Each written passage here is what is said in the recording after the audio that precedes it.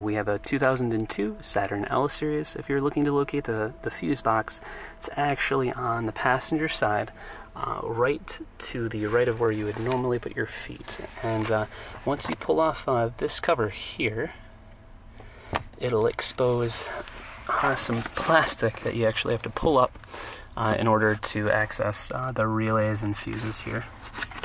It's kind of a weird system, a little bit different than most cars. But if you are missing this cover, here is the map on the back. And if you have any questions at all, please feel free to post below. I'd be happy to answer them for you. Have a great day, and thanks for watching.